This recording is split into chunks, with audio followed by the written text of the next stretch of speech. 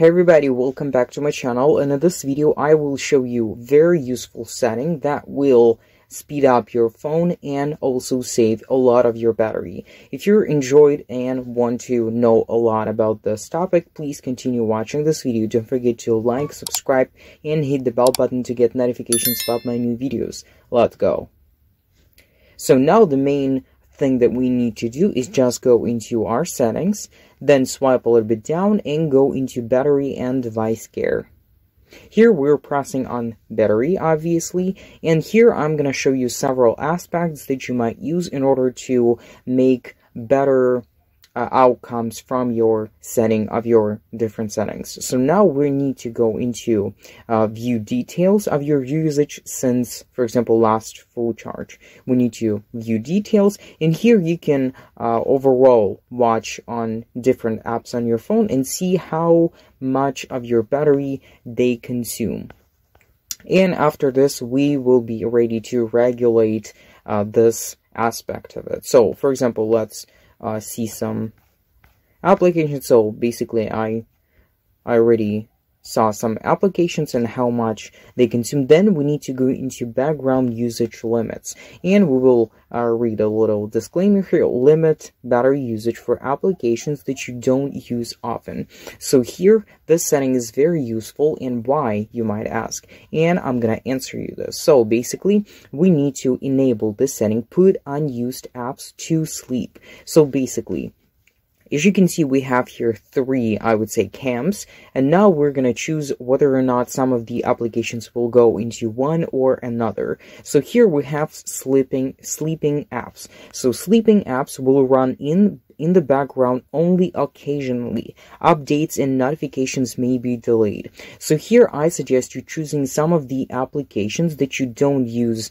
uh, very often and you don't want to or don't need to receive any updates or notifications from them.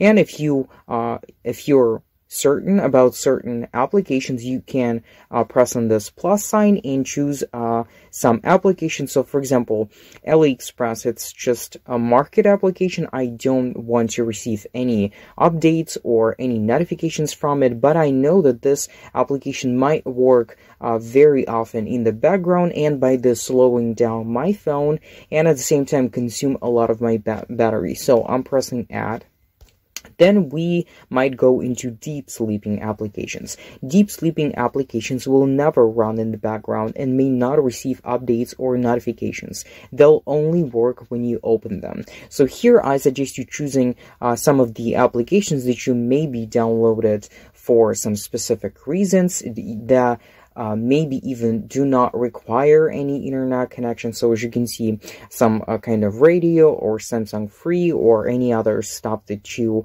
cannot, for example, even delete and you don't want to use it at the same time. So we uh, need to put all those applications into this section in order to, again, boost speed of our phone and of our phone, phone performance and at the same time increase our battery life.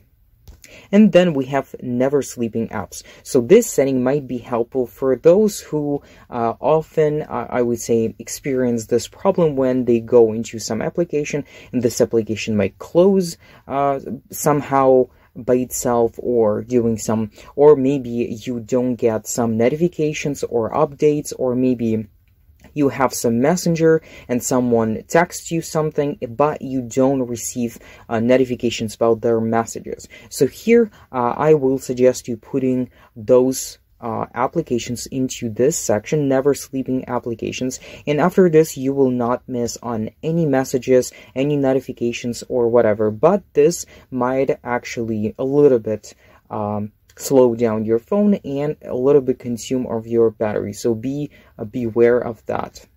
And I hope that this video was really helpful for you. If you enjoyed watching it, please don't forget to like, subscribe, hit the bell button to get notifications about my new videos, and also share with your friends.